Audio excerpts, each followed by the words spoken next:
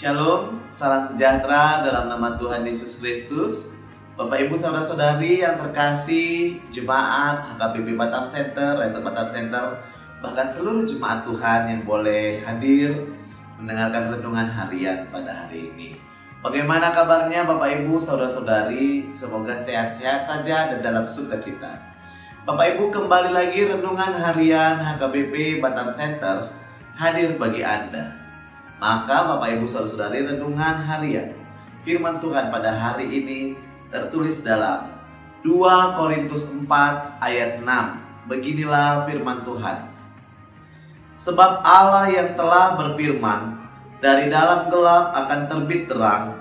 Ia juga yang membuat terangnya bercahaya di dalam hati kita, supaya kita beroleh terang dari pengetahuan tentang kemuliaan Allah yang nampak pada wajah Kristus.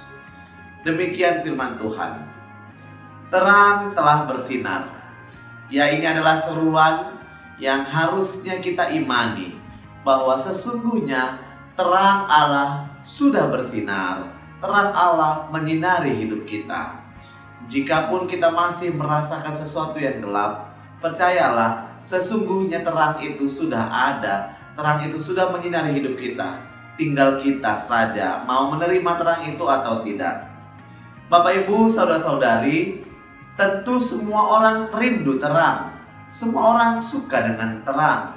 Semua orang itu tidak suka bahkan tidak nyaman di dalam kegelapan.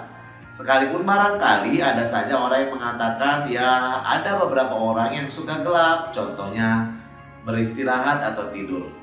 Tapi secara umum gelap membuat kita susah bergerak. Benar. Contoh kecil saat kita mau menulis atau kita mau melangkah, jika sangat gelap, kita tidak bisa. Kita butuh cahaya.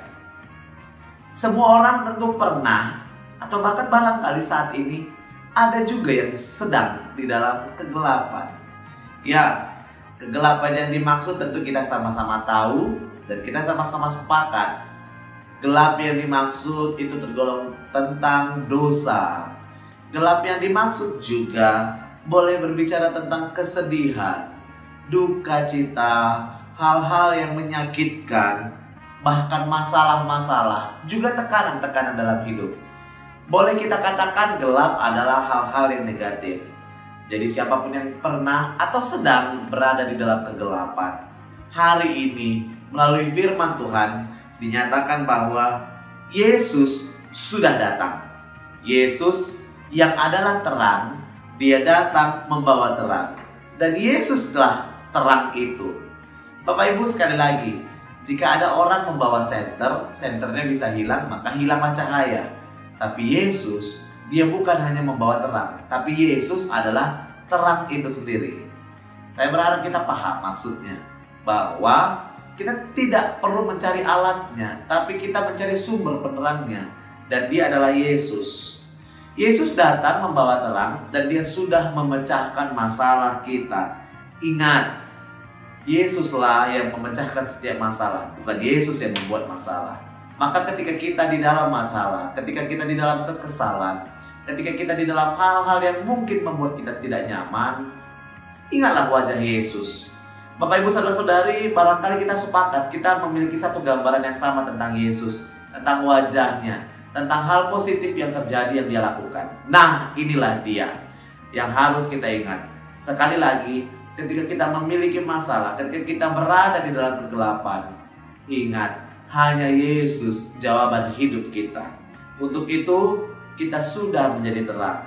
Nah, Bapak Ibu, sekalipun dikatakan hanya Yesus sumber terang, Apakah kita tidak bisa menjadi penyalur berkat Tuhan melalui terang juga bagi orang-orang lain? Tentu bisa, bahkan harus.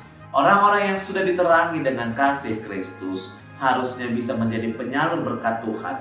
Menjadi terang juga bagi orang-orang di sekitar kita. Supaya orang-orang di sekitar kita yang sedang di dalam kegelapan juga terang karena Kristus. Terang harus bersinar. Terang tidak boleh ditutupi.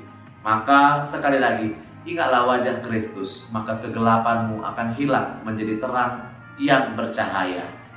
Tuhan Yesus memberkati. Amin.